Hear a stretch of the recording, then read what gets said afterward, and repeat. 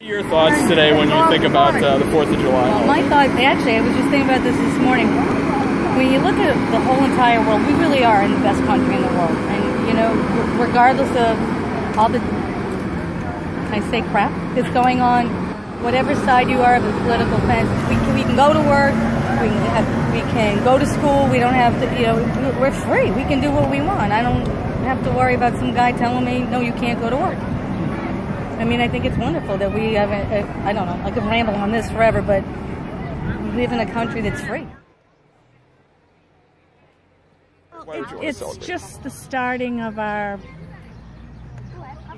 American civil, you know, here in New England, and it's just so nice that everybody can get together and have celebrations and bring the flags together and everything. It's just so nice. You have uh, memories of uh, Fourth of July? Well, yeah, because my daughter was born on the fourth, I have memories.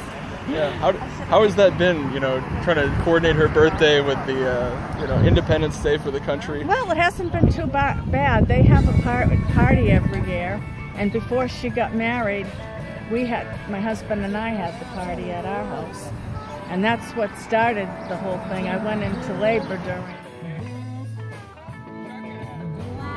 For me, it's, it's, I'm originally from Malaysia, so but we've been here for many many years, and I'm, we are Americans right now. So Fourth of July is uh, important for for me, anyways. Yeah, it's for about the independence. It's about the freedom. Yeah. You know, it's gonna live the way that we want to live, and you know, live live how we want to live, basically. So that's that's for me. It's about the freedom.